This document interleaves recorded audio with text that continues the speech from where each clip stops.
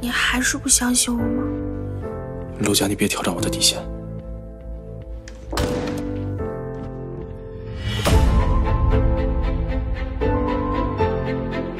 刚才我梦到我们高中的时候，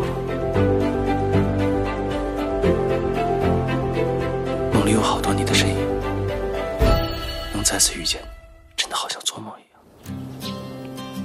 你好啊，徐佳修，我是隔壁九班的陆佳。给别人写了一封一模一样的情书，我当时还以为你拿我开玩笑。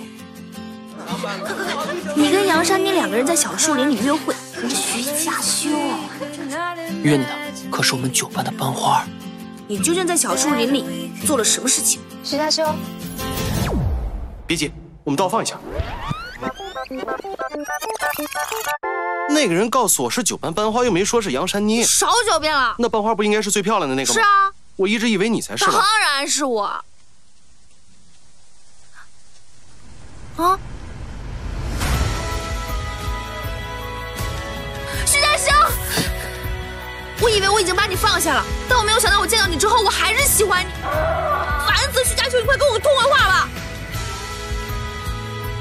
其实我们就是时光，时光就是我们。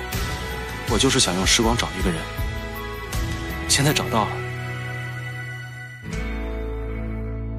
嗯，礼物，打开看看。